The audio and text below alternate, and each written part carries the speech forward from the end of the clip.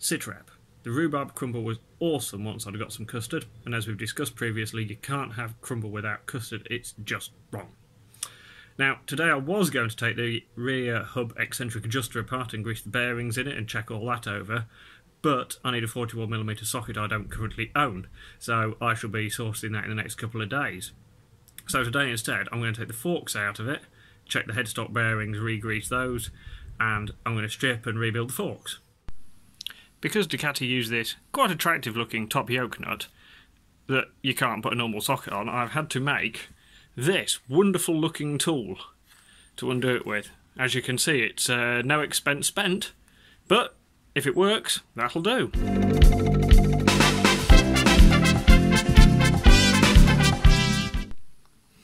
I've got the trusty engine jack on the go under the front of the engine this time. In preparation for when I was going to take the eccentric adjuster out the swinging arm, I've got the back of the bike under axle stands. So the bike's nice and solid, I've now loosened that uh, top nut off, but before I take the forks out of the yokes, I'm going to undo, I'm going to take the preload off, and I'm going to undo the big nuts. I'm going to put a bit of tape on them first so we don't mark the anodizing. I'm going to undo those, or at least crack them off first, so that I've got something to hold them with.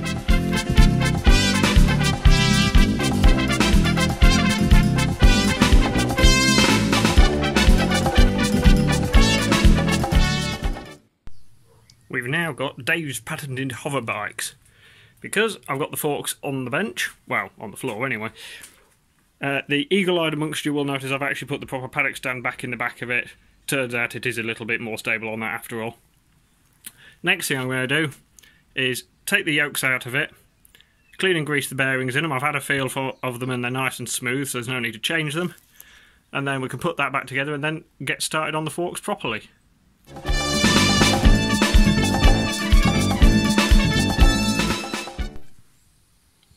Well, we can't say the head bearings weren't greased. There's a good reason they still felt nice and smooth. There is ample grease in those. So I'm still going to clean them up, put some fresh grease in, and then put that back together. Now that the headstock's all back together with new grease and bits in it, uh, it's on to doing forks. Now, the previous owner actually was very, very good and gave me a set of new fork seals with the bike. So we've now got a full complement of oil seals, dust seals, and new bushes. Uh, K-Tech good quality stuff. Obviously, it's all available from B&C Express as well, which is local to me. Um, the outers have got a little bit of tarnishing and bits on them, but they should clean up a little bit. And the chrome's in pretty good condition. There's a couple of really, really minor pit marks on them in places. Can't really see it.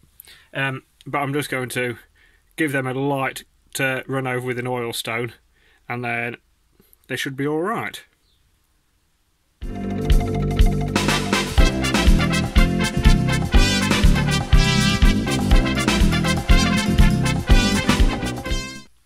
At first glances, the oil I've poured out the fork might look horrible and black, but actually, in the actual light that I'm looking in, it's actually not that bad. And everything's come apart quite easily. So, I think it's fair to say, from everything we've seen so far, that this thing has generally been actually looked after really nicely. But fresh oil and fresh seals won't do it any harm. On these Ducati forks, the compression adjustment is on that screw up the middle of the uh, fork tube. There's also a hole drilled in the wheel spindle so you can get to it when the bike's all complete.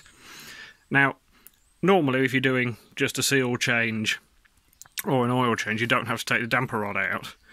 But I'm going to take it out anyway. The Obsession Engineering basic instruction on how forks work. Now, obviously, the outside of the fork bit is relatively straightforward. You've got two bits of metal that slide in and out of each other with bushes and seals in them. Inside there, you have springs and the relevant spacers so that everything's the right length, and obviously, we all know what a spring does. Then, the important bit for giving us any kind of ride quality is the damper assembly. Now, these are a cartridge fork. So, we call this the cartridge, and inside here is, on the end of this shaft, is a piston with shims on. Bit like the one we showed you in the uh, shock video. So, obviously, as you ride along and go over bumps or you brake or whatever, this goes up and down. The piston moves up and down within the cartridge, which is sealed with it like a piston ring, and it forces oil through a shim stack on both sides of the cartridge, just like in the uh, shock video. Now, the really interesting bit, how you adjust them, are these little bits. This is the compression adjuster, which on these Ducati forks bolts into the bottom of the fork.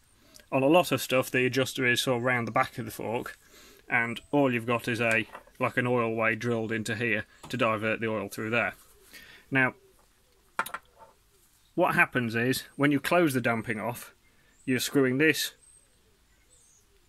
you're screwing this uh, taper into a hole and it blocks the hole off and forces all the oil through the shim stack. And then as you open this, wind it out with the screw on the back if you can see that. And that affects how far into the hole the pin goes and how much oil can bypass without having to go through the shim stack, thus changing how much damping it has in that direction. Now that's the compression one. The rebound one is attached to the fork cap, which bolts to that and then bolts to the outer. And it's the same system. Your little screw at the top screws this shaft in and out, and it depends how far into the piston it goes. If it's locked off, all the oil has to go through the shim stacks, so you have more damping. If you wind it out, you open a bypass hole, and it allows the oil to go through the bypass hole more or less, so it alters how much damping you have. So that's the basics of it. Now, these cartridges are actually pinned together, not screwed together, so I'm not going to take them apart because that's a task for a whole another day. The other interesting bit of adjustment, of course, is this preload adjuster, if I can stop it rolling around. Now, the preload adjuster has, sticking out of the other part of the cap, these little metal pins. Now, if I shake this, you can see the pins sliding out. And that's the same thing that happens if I screw this in, it pushes the pins out and they push on the top of the spacer which compresses the spring which preloads the spring. So that's the basics of preload, putting more tension on the spring.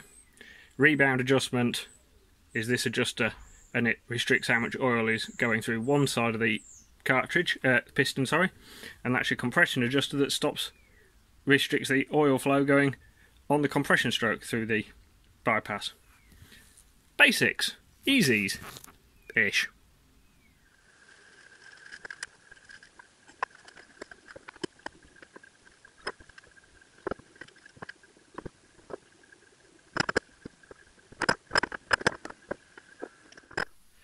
I've got the new bushes and seals all fitted now into the legs. The next job is to fill them up with fork oil, set the air gap, and then refit the springs and the spacers. I've cleaned everything, I've checked the free length of the spring, everything's in spec. Normally, Ducati say put five and a half weight fork oil in them, but because this is going to be purely used on the road, it's never going to go near a racetrack. I'm going to put five weight in to, to give it a a slightly easier time through the shim stacks and in fact in effect make the high speed damping a little bit softer.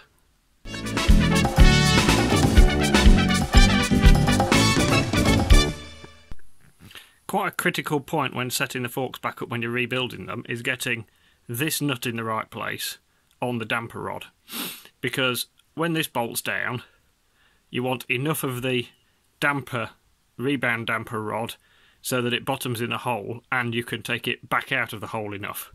So if you have that too far up, you'll never get the needle to bottom. If you have that too far down the thread, it'll bottom and it will never come out enough and you won't have the right range of adjustment. So you've always got to be careful that you get this right. Easiest way I found of doing it is to wind it into a position where you think's about right. Then wind this all the way through its range of adjustment see if it has enough clicks. If not, adjust this to suit. That's the first fork leg done. Cartridge bled up properly to get all the air out of it. Air gap set at 132mm with the springs and the spacers out. And I've set the dampers and the preload as per the instruction manual so that we're starting on sort of Ducati recommended settings. Now I just need to do the second one. That's the forks all refitted, everything torques up correctly. The calipers, while I had them off, I made sure all the all the pistons move and the pads actually look fairly new. And there's evidence of copper slip around them, so that's a good sign that they've been maintained nicely. The discs I've measured and they are a bit worn. They're not on their service limit yet, but I might price up some new ones anyway. And then if I do that, I'll probably put new pads in it as well. I haven't reattached the mudguard because it's not supposed to have the white stripe up it, and the paint finish is a bit a bit matte in places. It's obviously being touched up, so I might look at getting that repainted or replaced. But so far today, other than the fact I didn't have the tools to do the job I actually started doing, I think it's gone fairly well. Join us again next time while we do some basic service work and probably start putting the world to rights.